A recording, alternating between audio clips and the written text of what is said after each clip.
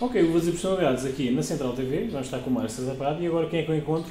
O outro elemento do blindagem que ajudou o Paulo a fazer de alguma forma. Temos aqui Luís Juque. Juque, exatamente. Ah, ah, jornalista. Jornalista, ou seja, estamos a falar do CEO do Jornal do Comércio. O jornal é, é o Jornal Diário Indústria e Comércio e também a rede social, né? Tem, tem o YouTube, fanpage, Instagram, aquelas coisas todas que eu tive que aprender tudo de novo. Né? Agora vejam esta blindagem também, acompanhem as redes sociais e o privilégio de estarmos aqui com o irmão do Paulo, que é assim, não pega no violão, mas é assim, é um teclador. É, é, eu sou, como dizia o saudoso Ivo, né, eu sou camisa 6 da banda Blindagem, porque a minha área era divulgação, sempre divulguei a banda, e como assessoria, né, de consultoria, sou formado em relações públicas e publicidade, além de jornalismo, né?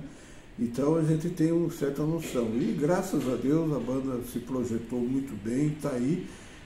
Mas até hoje eu continuo com o violão tentando tocar a nossa canção do Roberto Carlos, e é só isso que eu sei. Mas para todos os efeitos, assim, agora toca no Jornal de Indústria e Comércio aqui. Ah, sim, eu toco aqui. A música é outra. A, a música é outra, é notícia. Acompanhem lá as redes sociais do Sr. Luís Juque e vejam é. exatamente a blindagem que é. Então, o é. Jornal de Indústria e Comércio. É, inclusive o, lá no Instagram é, é aquele arroba, né, aquele uhum. azinho, né? É, Juque Business e News, tudo junto, né? Ali ele tem toda uma história de noticiário da área de economia também.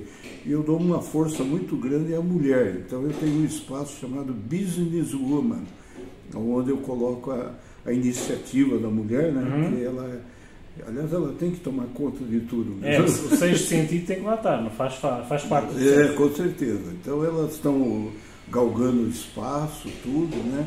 Eu, esse dia eu sugeri que a presidente do Palmeiras, que é famosíssima, empresária, tudo, que assumisse a CBF, para a gente ver se a nossa seleção melhora.